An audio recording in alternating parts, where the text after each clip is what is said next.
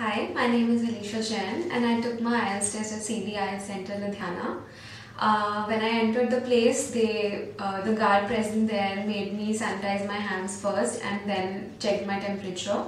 Uh, this, uh, the COVID-19 norms are rightly being followed here. Uh, during the test, I mean before the test, they gave us enough time to relax. They gave us time to uh, stress we had for the exam.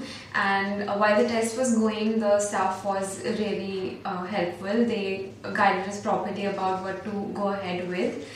Uh, after I was done with the test, um, I think yeah they asked us how our experience with the test was. Overall, it went pretty well, and I would strongly recommend uh, preferring CD IELTS Center for your IELTS test.